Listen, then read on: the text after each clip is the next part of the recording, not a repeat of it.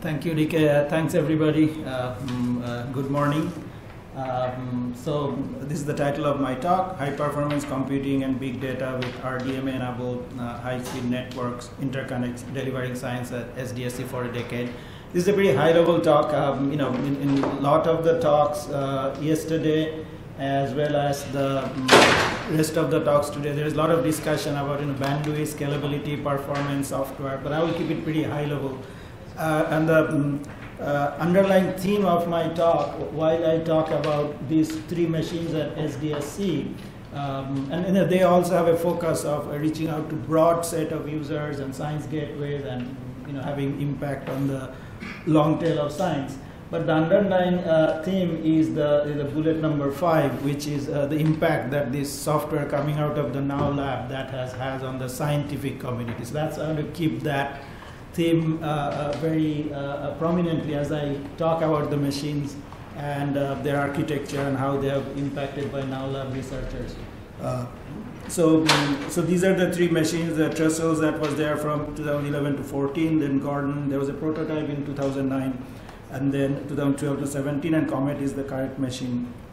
And um, again, I already mentioned this, I want to keep the theme that uh, impact on science of the Now Lab research. You know, we, we, uh, I know there's a lot of discussion of latency, bandwidth, scalability software, that's vitally important, and that what leads this software to be used in a production mode on HPC machines at SDSC, TAC, and many other places in the, uh, you know, the US as well as worldwide. And the uniqueness of the research that leads to software that impacts science. So that's what I want to, uh, uh based on these three machines, because these were the first three primarily now software driven, MVAP driven machines and SDSC before we had machines from you know, Cray and IBM those things. So, so I'll, I'll go through I have many slides. I'll go through them fast, but I think you know that as I said, the theme is what I just just just said now. Uh, so Trestles was the first machine, and again it was um, geared towards high productivity systems and um, gateways. I think many of you knew what science gateways are, but but I'll just quickly mention.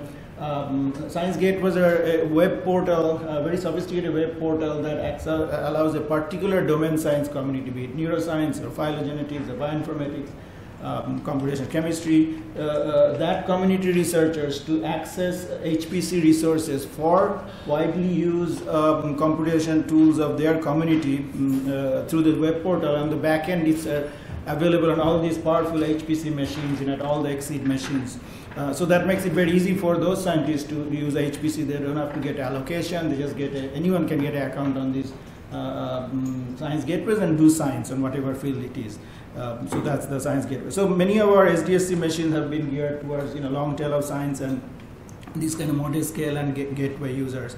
So again, Trestles was designed with all those kind of things in mind. Uh, try to understand how you can enable uh, lots of users, model users, what are their needs and things like that. So um, I will. Uh, so again, this is the you know when we are. So this will be a little bit of trip down the memory lane. So a lot of these slides were uh, you know, used in 2010 and 11 and 13 and 14. So as I said, you know, I'm going to chronologically use some of them. Um, in some of the slides, I changed the is to was because you know it was it was a is in 2011, but now looking at past. But again, looking at the, the when we propose the Trestle machine, we look at this 80% of the users using you know until that point 512 cores or less. So keeping that in mind, how can you provide um, many projects can benefit from modest scale um, uh, jobs and a modest scale machine. So that was the idea, how you can impact lots of users. Again, even at that time, 2009, we were seeing that the gateway usage is, is growing. Um, the trend, and you will see all the way when up to Comet, the gateway users have overrun the people who log in and, and do uh, you know, traditional way of uh, using HPC messaging. So again, we kept that in mind. So what are the, how do you can impact the, their usage, you know, is it the queue at time, um, and how do you, what are the allocation policies? And um, how do you uh, allow them to run on how many maximum cores. So those are the things we kept in mind as we proposed the machines.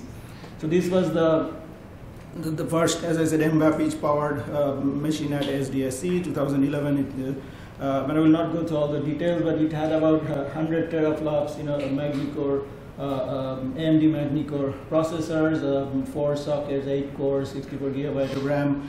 Um, it has the QDR InfiniBand, Um, also, we, we've always paid attention to you know large uh, file systems and, and a good I/O bandwidth. You see, this one had a 50 gigabyte per second of I/O bandwidth. Um, so, so that's the, the machine. Again, so the, our attention was to how do we enable a large number of users. So we paid a lot of attention to the mm, uh, expansion factor, very rigorously monitored the expansion factor. We allowed long running jobs. Standard jobs were 42 hours, of course, but we allowed jobs to run up to two weeks we allow shared nodes. So you can you know easily get nodes to debug uh, try out small test cases. So these are the, the user settable reservation. User could set their own uh, reservation. And then we also allowed this automatic uh, um, on-demand application earthquake and this and that. That was a novel idea. I don't think that caught on too too much. And obviously provided robust set of application software including MVAP so here are some of the other policies, scheduling, limiting jobs to 1024 cores. So, so the idea is a lot of users can use the machine instead of one or two users taking over, you know, 50% of the core or even 25% of the core. We cap the allocations. So, so you, you all know that um, uh, you have to write allocation proposal to get time on this machine to 1.5 million SUs for individual users. So again, the idea is to have a lot of users do science uh, and, and then, but for the science gateways where you could have hundreds or thousands of users, they could have, uh, you know, way more allocation. So these are some of the things uh, that we um, very carefully paid attention to. Uh, to make this machine a very mm, you know useful machine for a large number of scientists from wide areas of uh, disciplines. So um, yeah, we rigorously monitored the the expansion factor always and uh, tweak the um, also the allocation. We did not allocate the machine fully. We under allocated, so the queue at time will be less. So all of these things were done to uh, promote, and even in 2011 or so, a broad uh, user base. So and you will see that trend continued with the next two machines in the Gordon and Comet at um, SDSC um, also. So uh, again, at, the end of each of these machine description, um, I will mention some of the science um, cases just to give you a flavor of you know the science that goes on. Because as I said, there will be a lot of discussion about scalability, latency, bandwidth, performance improvement, but I want to tie it to the science. So these are just a couple of examples from the past. The first one is a, um, looking at atomic structure of a silicon-based polymer. I think this group was from MIT and you can see the characteristics, you know, large number of small jobs simultaneously, you know, again, high throughput uh, computing. They, for, for little larger simulation, they use 512 cores. Uh, they use the two weeks running, um, every, you know, long job that Trestles provided, and the large memory. And then on the right hand side, this is the gravitational wave, two black holes uh, co colliding. Um, this is a group from Caltech, and they also use hundreds of cores and uh, hundreds of gigabytes of memories. So just to give you an idea of how science gets done because of these HPC machines and which are powered by research and the production scale software coming out of um, the Now Lab. So again, I think I already mentioned that modest scale and gateway users were an uh, evolving user base, and that's what we targeted uh, with all these queue policies, allocation policies, and uh, even the architecture of the machines.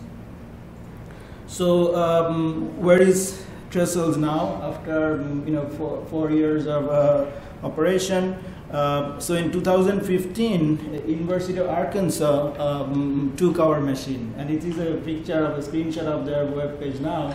You see the Trestle is still running there, uh, uh, enabling science to the students and uh, researchers of University of Arkansas. So it's good to see that uh, you know it's still contributing science. So it's pretty uh, amazing to see um, that uh, you know, so DK group's contribution is helping scientists at University of Arkansas right now. So that was good. Um, yeah, so the XSEDE resource picked up by um, of Arkansas. So next I will talk about the Gordon machine. So this went into production in 2012, but initially we had a grant for a small prototype called Dash. So we, we did a lot of experiment on that. Well, this was quite innovative, pushing the boundaries of technology and design in many ways. And again, DK's group has an immense impact on making it all mm, possible. So here the idea was data intensive uh, computing. Again, we are talking 2009. We were trying to you know understand um, and nothing has changed. You will see in the you know if you're following slide is this the data is far away from the processors right? That that's the that's the uh, uh, uh, issue always. Uh, but this one was so we tried to understand you know you need large shared memory at that time to do you know, analyze big data uh, uh, related science and data processing typically they could be a, not a you know code that scales um, with MPI and large number of processors, but we focus on shared memory, OpenMP thread type thing, and um, the I/O random I/O uh, could be up to large data sets. How do you take care of that with the file system and large scratch files? So those were the themes of the data intensive machine Gordon. Um, so it was uh, used to uh, analyze you know massive amount of data from genomics, art science, uh, medicine, all those. And this is we're talking 2010, 11 time frame where we're trying to understand. So this was again focused on the I/O over flops. So that was the design uh, criteria. And um, we had uh, this was a machine for Appro. Later, I think Cray bought Appro uh, so it was with Sandy Bridge processors, 300 terabyte of Intel flash. So that was a big novelty for even the um, Trestle. We had a flash memory node local flash. So that has been a big part of this Gordon machine. We had VSMP to aggregate memory, large amount of memory. The 3D Torus interconnect with dual rail uh, QDR was a big part of um, design and innovation and test, and we worked very closely with DK's group. And you will see how their research uh, allowed us to do that. Uh, without going too much in detail, this was a Intel Sandy Bridge uh, compute nodes, um, 16 cores, 64 gigabyte of memory. But the, one of the key features was the Intel Flash I/O nodes, uh, and I will talk about them a little bit more in next few slides. Um, and then we could create super nodes with VSMP. And this dual rail QDR InfiniBand, 3D torus um, network was quite innovative, and again we had to do a lot of uh, prototyping, testing, working with DK's group that made it possible. And um, here we have 100 gigabytes per second aggregate. I remember on the Trestles it was 50 gigabytes. So we paid attention to I/O and all these um, other features. Again, this is known to this community. You know, data uh, keeps moving farther away from the processors, and uh, many data analytics applications, you know, are, are, more focused on the data and uh, parallel uh, shared memory and threaded, and uh, so those are the key themes. Um, again, this is known to the community too that big data is you know is far away. And again, we are we were thinking about this thing in 2011 or so, mm, uh, 10, 11 time frame, how the um, uh, CPU cycle time and memory access time, disk access times, you know, looking at these and try to uh, design a machine. So um, so this is the latency gap that we all know, um, you know, exists even, even still exists. And then how do you deal with that? So we use some of this uh, thinking to design the um, Gordon machine. So one is we had these flash drives, and I'll talk about them a bit more, is to bring the um, uh, big data closer to the uh, registers and uh, and then and then use the shared memory programming with VSMP to bring in um, large amount of um, shared memory to for for big data type you know genomics and finance and uh, um, art system data analysis of those data is what uh, motivated us for design of the Gordon machine. So the design highlights, I mentioned some of them already. Uh, 1024 Sandy Bridge nodes, 16 core, 64 gigabyte per node. But then there is a 300 gigabyte um, Intel uh, SSDs, uh, and there were uh, 16 times that. So I think 4.8 terabytes of Intel SSD on per IO node. Uh, so each IO node were tied to 16 compute nodes and there were um, 64 uh, IO nodes in 4x4x4 uh, torus. Um, and then we had large VSMP supernodes we could create and uh, 3D torus dual rail QDR. That was the um, big innovation. And obviously we had uh, Lustre file system and 100 gigabyte per second um, you know, aggregate IO. So these are the things uh, given within the amount of funding you get from NSF, which is never unlimited. Uh, uh, you uh, try to design a machine in 2011 for um, data intensive uh, computing. So this is what I just mentioned. each IO node had a dual rail, um, and I'll talk about a little bit more, um, and connected to 16 compute nodes. The SSDs resided were served through the IO nodes um, to the compute nodes, um, and then um, Lustre file system. Uh, so this is the 3D torus. Uh, each node um, uh, had the IO node I just uh, mentioned, and there were a lot of advantages of using the 3D torus switch architecture, you know, lower cost of cables, and um, the two rails allows us to separate the IO traffic and the MPI traffic um, on two different rails, and this is where um, DK's work contributed a lot, and you, you will see those um, in the following slides. Uh, so this is showing more of the dual rail network of QDR, how uh, I think it's uh, three, uh, three links each way, uh, dual rail that's six times four gigabyte, uh, uh, 24, and then it was by, by directional, so you could get 48 gigabits peak on each, each direction. And we had this 38 port fabric switch that dealt with all those connections and the connection to the um, processors and the dual rail uh, I/O.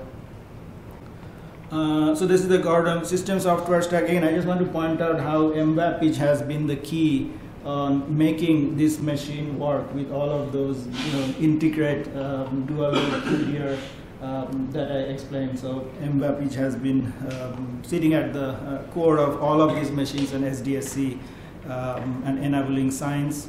So at that time, uh, MVAPICH 2 version 1.9 was the default. And now, okay, and I'll explain later why now, because, you know, from my timeline, it seems Gordon is gone, but uh, now it's version 2.1. We compile with this um, dash dash enable 3D torus support flag for multi-rail support. So we think at that time this um, dual rail QDR 3D torus was probably one of the first machines, and, and this again, you know, because of the work that coming out of the Now Lab, we were able to uh, make all of these happen. Um, again, the SSDs in the Gordon in the IO nodes and exported by iSER. And uh, so the rail 1 was used for um, IO to the SSD and to the Lustre. And then the, um, the other rail uh, was used for MPI. Um, we decided not to have MPI and IO on both of them because you know if, if one just keep them separate because if one gets saturated, that could impact. So all of these things didn't just happen overnight. We tried, failed, looked at performance, bandwidth limitation issues, and then were able to make it work. But uh, MVAPICH 2 was key um, factor in making that happen. Uh, so here are some uh, uh, uh performance, uh, some of the performance number from that time. it was done very closely with DK's group. Um, I think Mahi will, Mahi was in the trenches. He has been in the trenches as SDSC for last one decade. Maybe we'll be there for one more decade or more. I'm always outside the trench because it's, it's, it's pretty pretty hot down there. so but uh, so here, uh, MVAPICH out of the box without any tuning, you can see mm, the mm, dual rail QDR, uh, which is the blue line, um, about 16K. It's, uh, it's uh, you know, it, it, was better than the mm, FDR uh, at that time. And then, uh, as you say, we are working very closely with DK's group, and then they put in this um, tuning parameter, then the dual rail QDR tune moves to 8K, uh, if I'm looking at it right. Um, you know, the, then it, it gets almost like a FDR performance.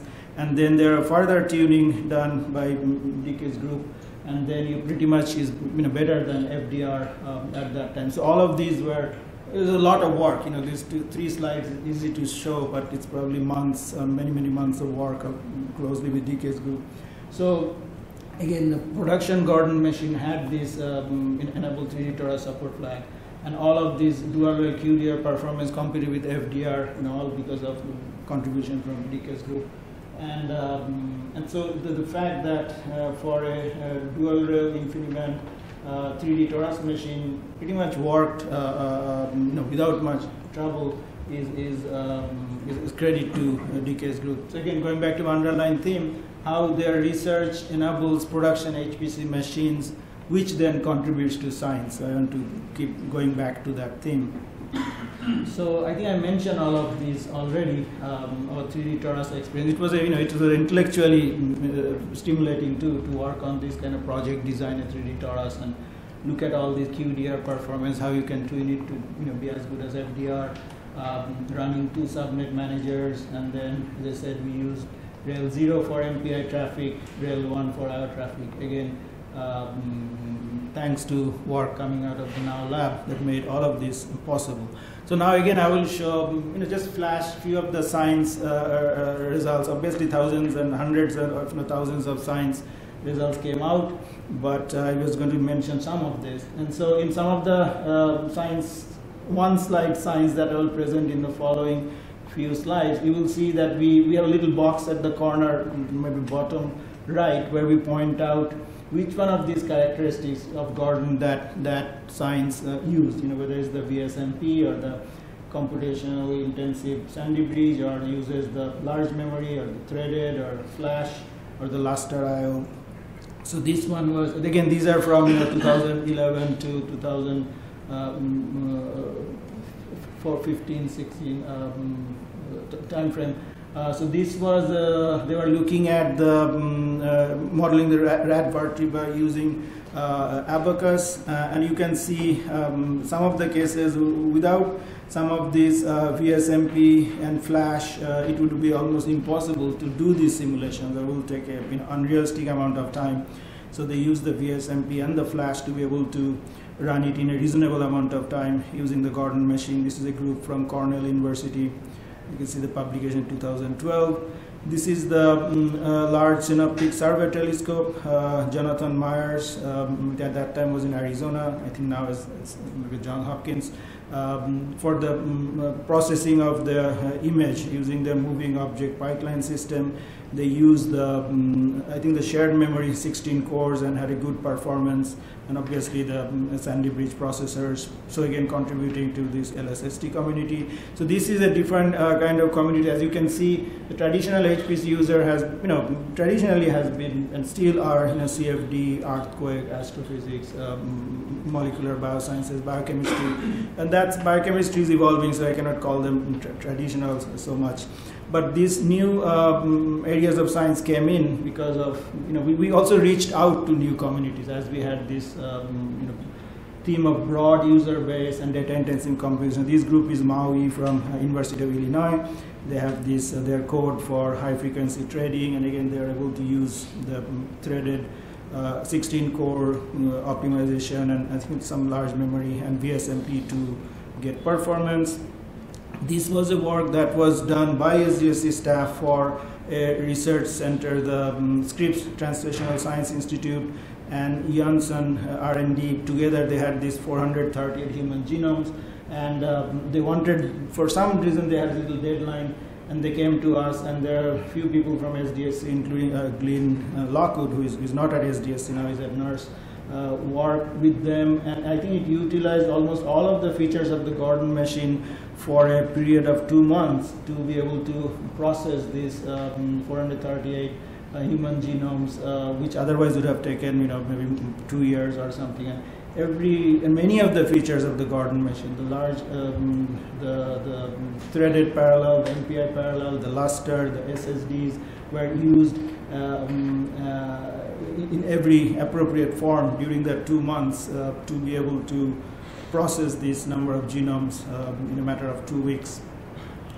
Um, so this is a work done by some political science group at UCSD. I think they are looking at uh, causal effects um, uh, in some population distribution and um, again they were able to use the, the computation power in a threaded parallel way of the Gordon machine to improve their performance this is a, a, another group, again, a little bit innovative application. I think they, this group um, has uh, some kind of sensors in all old people's homes. So because old people tend to you know, pretty much do the same thing in the same way. They wake up, we brush teeth. Not that we do differently, but theirs is more structured. So they collected all this time series data, and then they were going to correlate if the sensor data deviated from the you know the whatever the correlation they established, uh, they would they would might conclude there is something wrong. Maybe the person fell down or something. They will send EMS anyway. But the work was related to analyzing the data, and the Gordon's um, VSMP and uh, threaded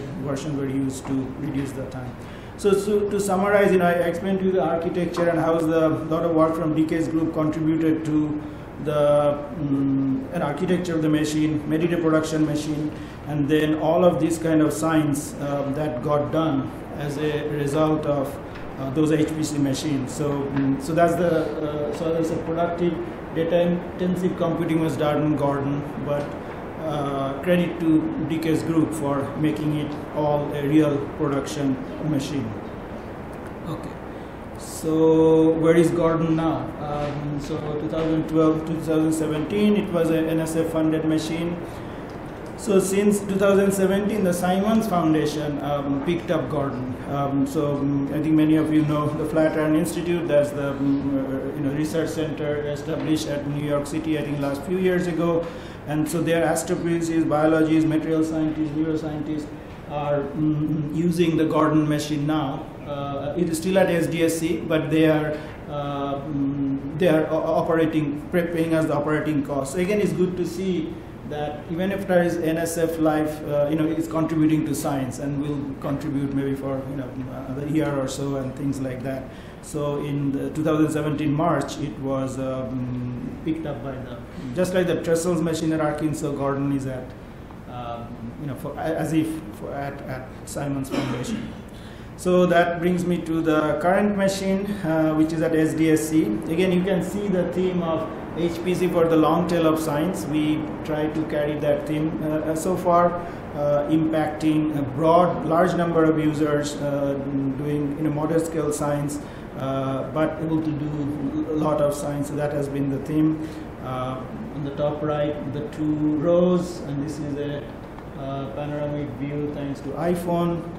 Um, so again, it was built to serve the 99%. Uh, again, the themes in the top left attract new users and communities, sub, support diverse application sets, uh, reach out to um, gateways, uh, try to understand uh, what are the needs and how you can design a machine, architecture, as well as the policies, you know, the queue policies and the allocation policies, so you can have a lot of uh, users doing breadth of science. So one of the things you will see is the uh, island architecture. I'll mention a little bit about the architecture but the idea is we looked at what is the um, you know average core uh, count that uh, most of the XSEDE users are running jobs at. You know what is the highest average core count and things like that. And we found it's under 2,000 cores. We looked at for the last few years when we proposed this machine. So what we did is within the island, which is a rack, there are 72 nodes, and we have full bisection bandwidth there. So the idea is within a rack with about 1700 cores, most of the scientists will be able to do and are doing their science, looking at the past statistics. And I have some plots. Uh, and then you, uh, but if you want to go outside of the rack, uh, then you pay in a penalty in the four, four is to one over subscription of network because most scientists will get science. So these are kind of ideas we use to the architecture and then um, you know to motivate the machine. And here are some of the characteristics. It's two petaflop but you can see that we had uh, standard compute nodes with 120 gigabyte memory and um, uh, dual CPUs, each 12 core. But then the GPUs we notice having a, a major impact and, and high demand. So initially we had 36 nodes, each with um, two NVIDIA K80 cards, each with dual Kepler 3 GPUs. But after one or two years of operation, even NSF uh, noticed how uh, GPUs are in high demand and contributing to all kind of science, you know, molecular dynamics, machine learning, analysis of data. Uh, so they gave us additional funding to get 36 nodes of um, four uh, NVIDIA P100s per node. So, so that's another feature of the Gordon machine where um, you know the GPU community, the GPUs are in heavy demand. Actually, even still, I think there's a kind of long queue wait time on the GPU nodes of Gordon. We have the large memory nodes. We had the FDR uh, fat tree topology. Again, as I mentioned, rack level full bisection bandwidth, but otherwise 4 is to 1 over subscription. Lots of storage. Um, and a lot of uh, other things to help the gateways use the machine, like hosting gateways and those kind of. Uh, so, so one rack, as I said, 72 nodes, 728 cores, is the as if the island architecture where most of the science get done at that core count or below, and um, the 27 uh, such standard racks we have, and. Uh, um, so that's that. So this is the uh, network architecture. Without going into too much detail, you can see in the uh, your left bottom that you know 72 nodes uh, and then 18 links coming out. So that's the uh, 4 is to 1 over subscription.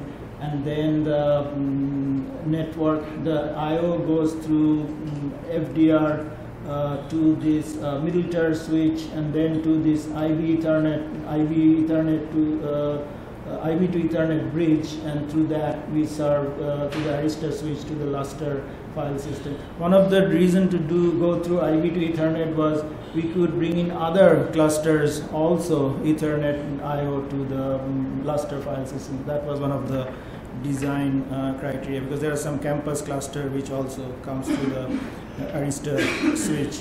Uh, so again, I think I've mentioned all of this already, but um, yeah, we had uh, 210 GB local flash. That is useful for many of the new kind of science wherein a lot of file, during the simulation, a lot of um, small file I.O. and things being done, so they use the local flash the GPU nodes. And another thing is the flexible software environment. And again, going back to contribution from DK's group, obviously MVAPICH is the, you know, the workhorse underneath.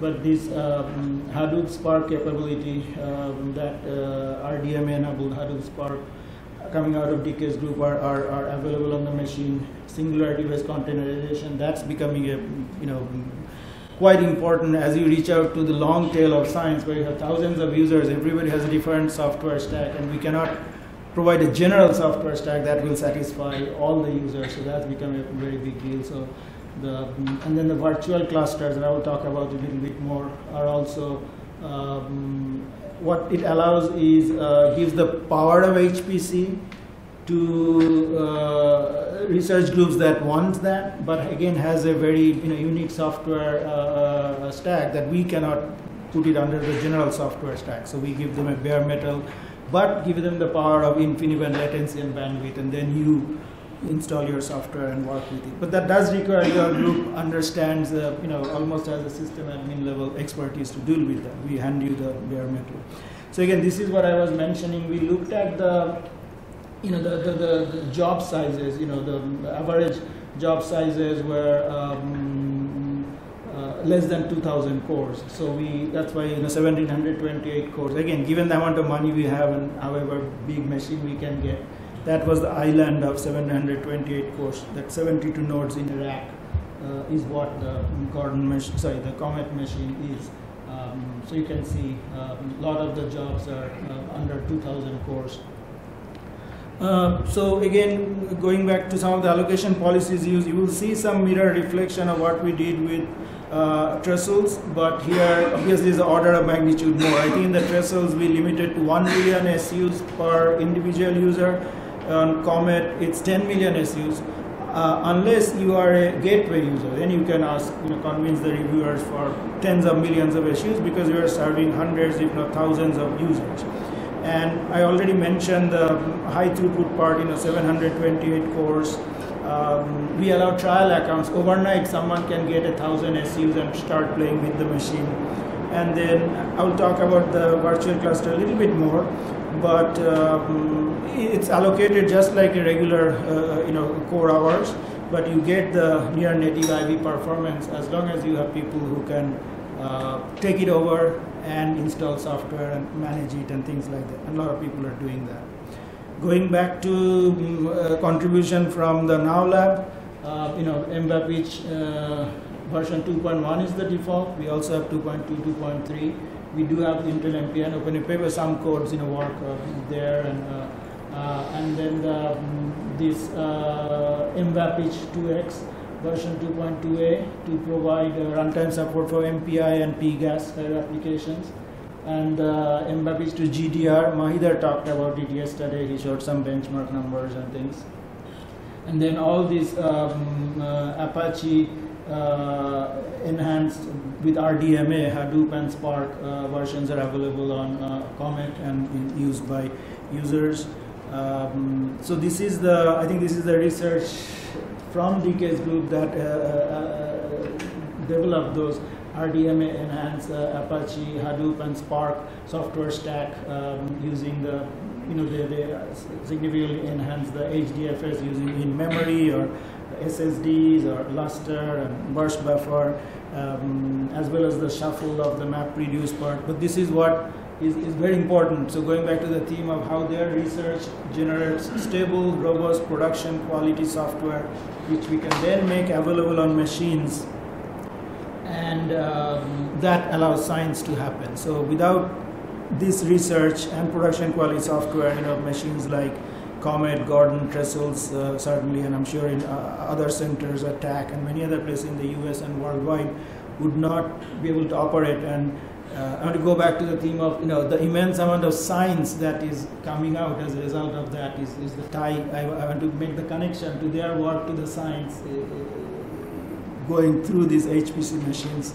Um, so I, I, think I already mentioned this. Uh, um, yeah, based on the Apache distributions, um, Apache Hadoop 2x 1.10, RDMA Spark, these are all available on our um, Comet machine. Uh, I talk to talk a little bit about virtual clusters. Um, so basically, the goal is to provide near better bare metal HPC performance for groups that can manage their own clusters. Um, so that's the idea of the. Uh, so we call it HPC virtual clusters instead of just virtual clusters because um, we give you the native close to native InfiniBand performance on um, virtual cluster that we will let you uh, create through the Slurm scheduler also. Through the Slurm scheduler, you can request nodes. So the exact same nodes that someone will get on the regular Comet site, but here you will install your software and everything. So again, I think this is known to the community that single root I virtualization you know, allows us to deal with uh, multiple virtual functions on a physical function and allows us to provide um, near native InfiniBand latency bandwidth on, on, on uh, uh VMs. So uh, I think I mentioned some of these already. So basically, the one virtual compute node per uh, container. So we are not putting multiple VMs on a node. You get uh, uh, one VM on, a, on, your exclusive node. So just like getting Comet nodes on a, to the regular um, side of the Comet queue, you are getting the virtual cluster nodes. Um, and they are allocated, if you write allocation proposal, just like as if you are getting you know, core hours on a Comet machines. So um, virtual compute nodes are on each uh, um, uh, actual hardware and uh, we have disk image that uh, where we can store your um, software stack. So next time when you boot up the machine, you will get the image that you um, installed first time. Uh, and uh, let's see, I think I mentioned all of these. basically, and I have some um, performance number to show how um, for the virtual uh, HPC cluster, you're still getting near native uh, performance. Uh, so the storage, yeah, the storage is local SSD storage on each compute node. Uh, some can have uh, large um, SSD. We have some large SSDs on some nodes, so some can use those for large VM images. And um, so modest amount of storage available via NFS now. Uh, so here are some performance numbers. So comparing the native with virtualized, this is for bandwidth. Uh, so other than uh, um, little difference in the mid medium size message, uh, it's pretty much the same for the small and large um, message size. The, the uh, MPI bandwidth slowdown and MPI latency slowdown is uh, again at the small message size there is a little bit of slowdown but at um, negligible for larger uh, message size and then we looked at uh, some uh, some applications they were all built with MVAP thing I think. Uh, WRF you can see barely 2% um, performance if you on the virtual cluster. This is for 4 node 96 core.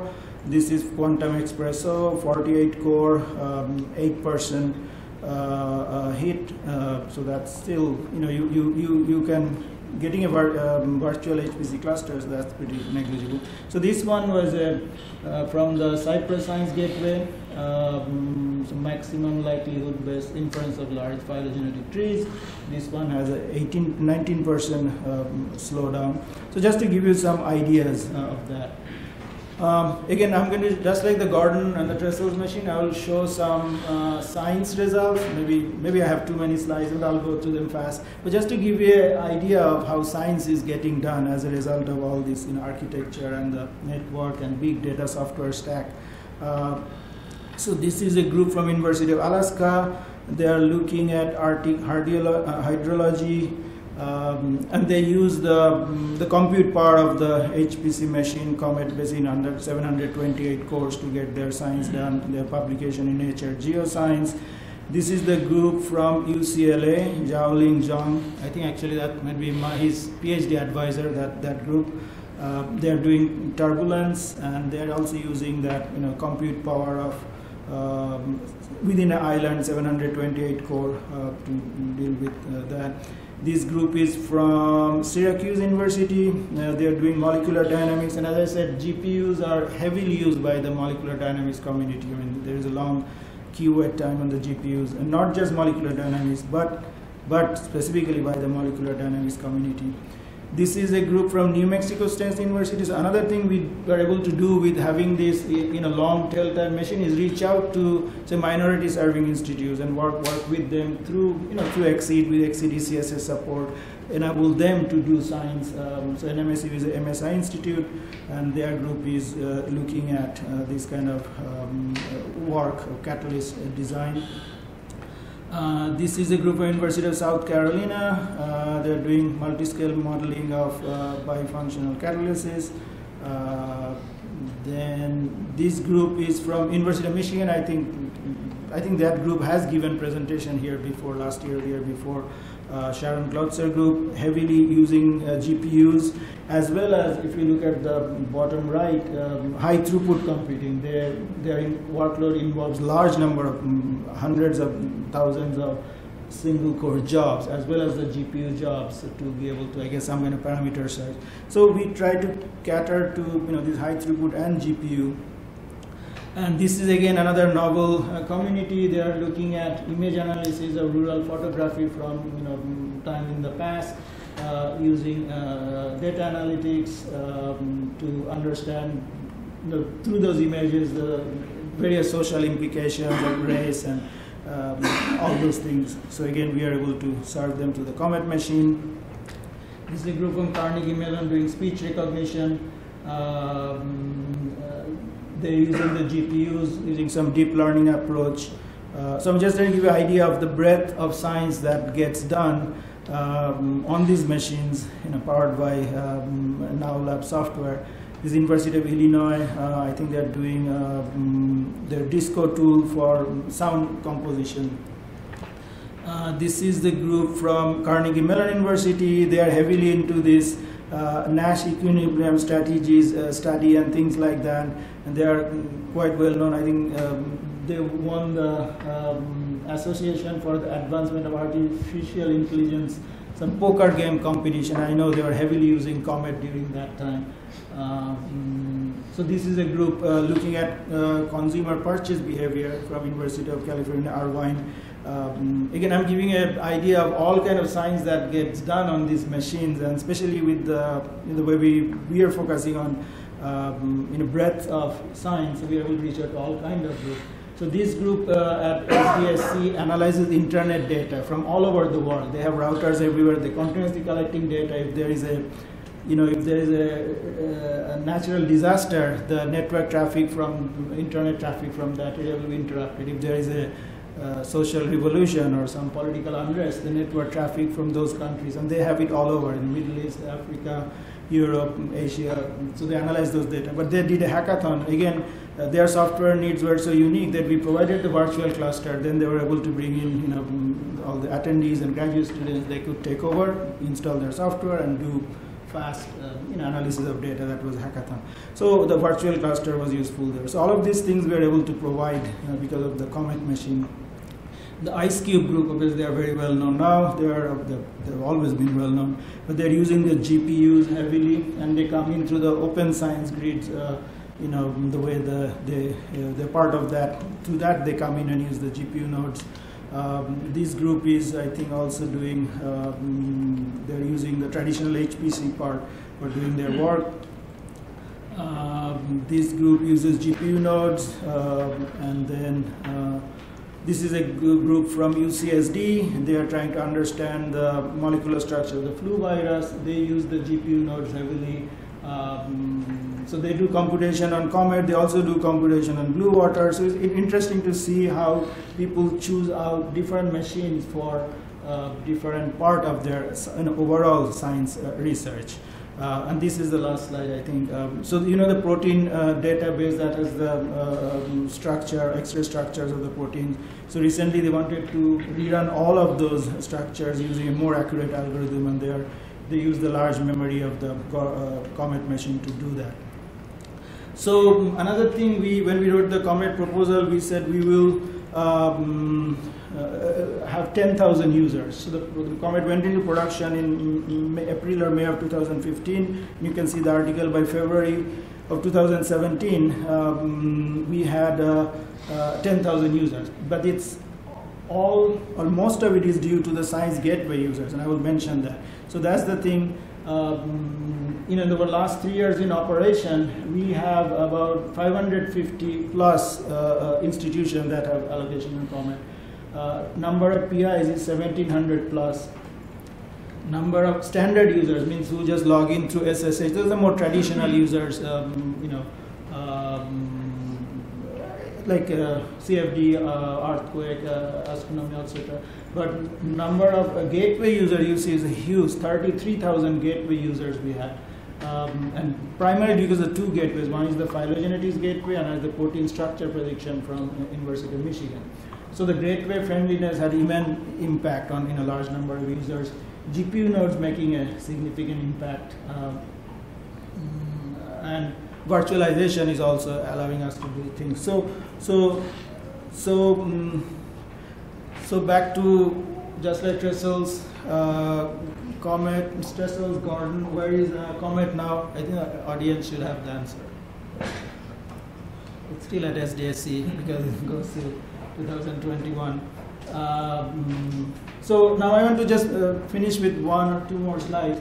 The, going back to my theme of NOWLAB's impact on science. So if you look at Comet, three years of operation almost, uh, you know, 40,000 users on Comet. Trestles had 1,600, so Gordon has 2,000. Uh, so that SDSC alone is, you know, over 40,000 users. You add TACC, I don't have all the statistics of the TACC machines you have another tens of thousands of users. These are just the two machines that NOWLAB I'm talking about. I'm sure there are many other HPC centers as well as academic centers in the US and in the world where um, you know NOWLAB research is impacting. So, so if you think of 50, 60,000 users just between TACC and SDSC, and how many of them will publish a paper? I don't know, 20% of them, maybe, you know, these are elite class users, maybe all of them will publish at least one paper, some will publish multiple papers. So um, combining all these users at SDSC and TACC, you can see there are many thousands of publications that are coming out and all powered by work done by DK's group. Um, so I think that's the that's the tie-in I want to make is uh, how just within these two institutions, thousands, of thousands of you know maybe publication and PhD thesis coming up. So the theme is NOWLAB. You know they do research they produce this uh, software, MVAP and the RDMA enable Apache Hadoop Spark and uh, MVAP to VART and uh, GDR, and then they go into production HPC machines. That allows scientists to do science. So that's the science impact that NOWLAB has. I know, you know, I'm trying to make the point. You know, there was a lot of discussion about, you know, latency, bandwidth, all throughout MUG. But here it, it is the impact on science that probably tens of thousands of um, publications and PhD thesis gets done because of NOWLAB. Uh, now, a little bit personally speaking, you know, it has been wonderful and intellectually stimulating to work with the NOWLAB researchers, the students, and DK. And we had multiple grants jointly, actually one continuing right now, with uh, three-way between uh, the team at uh, Ohio State, you know, OSU and OSC, TACC and SDSC, and uh, it has been wonderful uh, collaboration for over a decade. I worked with very smart people from OSU, TACC, and SDSC over the past decade. Uh, many are in the room today. Uh, some have graduated, moved on, and I hope to continue that uh, uh, collaboration for a longer time. Last one more slide, then I'm done. So I was looking at the last one, two, three, four, five MUG conferences that happened, and I looked at the picture. Then I thought, okay, maybe I should run a machine learning algorithm on this picture, see what comes out. So this is what it's not me, it's the machine learning algorithm on Comet. So first you say DK has the same blue shirt so look at that, blue shirt and jacket, blue shirt and jacket, blue shirt and jacket, blue shirt and jacket, blue shirt and jacket. That's what the machine said. And I keep running it. He says, Adam not wearing red OSU are two of the five years. 13 is not wearing. In 14 you see him in the top red OSU shirt. 15 OSU shirt. 16 16 not wearing again red OSU shirt. And then 17 wearing red OSU One of those is an shoe. Yeah. uh, then it tweeted out said something about me. I got a little younger. So this on 14, I have a lot of gray hair. Then on uh, 16, I moved to the back of the pack. That's the strategy. As you get older, move back. They don't get your gray hairs. The camera cannot catch it. You look younger. And then the last thing it spitted out, it says Carl got fashion, which, is true. He has a fashion. Yeah, sadly, I'm wearing the exact same blazer as 13, though. I I'm could. Yeah. I can't afford new fashion. So, so that's the end of my talk. Thanks for letting me talk.